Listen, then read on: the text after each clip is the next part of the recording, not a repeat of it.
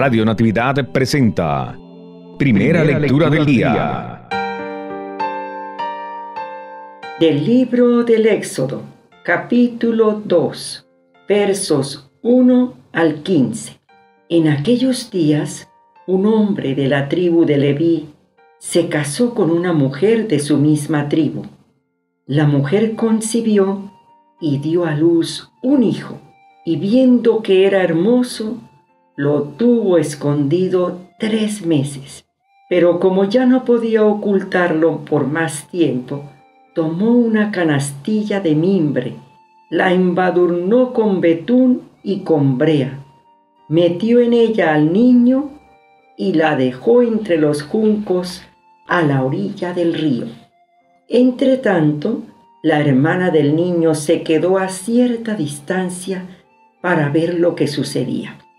Bajó la hija del faraón a bañarse en el río, y mientras sus doncellas se paseaban por la orilla, vio la canastilla entre los juncos y envió a una criada para que se la trajera. La abrió y encontró en ella un niño que lloraba. Se compadeció de él y exclamó, es un niño hebreo.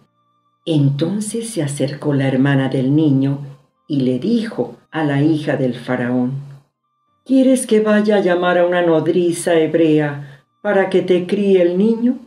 La hija del faraón le dijo que sí. Entonces la joven se fue a llamar a la madre del niño. La hija del faraón le dijo a ésta, Toma este niño, críamelo y yo te pagaré. Tomó la mujer al niño y lo crió.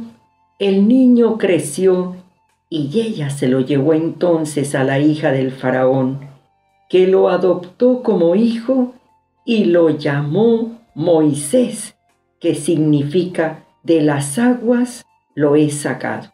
Cuando Moisés creció, fue a visitar a sus hermanos y se dio cuenta de sus penosos trabajos. Vio también cómo un egipcio maltrataba a uno de sus hermanos hebreos. Entonces Moisés miró para todas partes. No vio a nadie. Mató al egipcio y lo escondió en la arena.